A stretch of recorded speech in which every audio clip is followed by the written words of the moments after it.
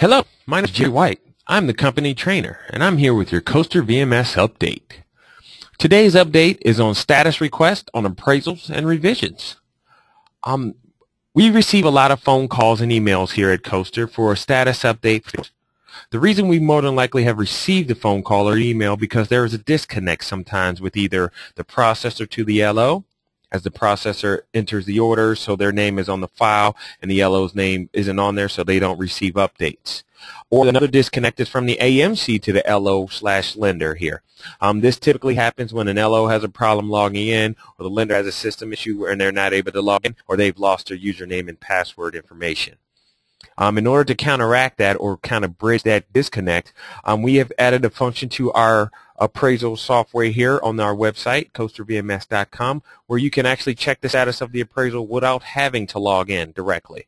Okay, all you would do, well, you just uh, go to our website, same deal, coestervms.com.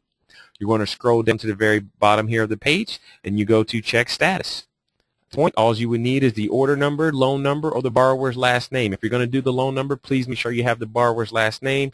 Again, because this is sent, uh, you don't have to log in, so you don't want to put a loan number that has to do with another client. Um, definitely put your loan number here and the borrower's last name.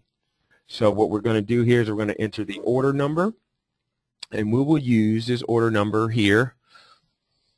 Um, we're going to use this order number here. So we're going to go 7078446. Okay, submit it.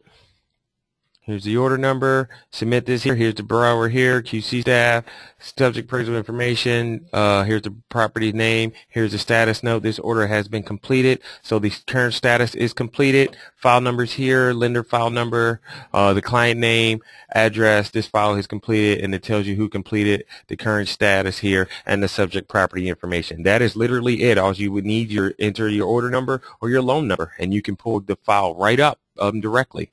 Um, this is Jerry White signing off with your Coester VMS update. Thank you.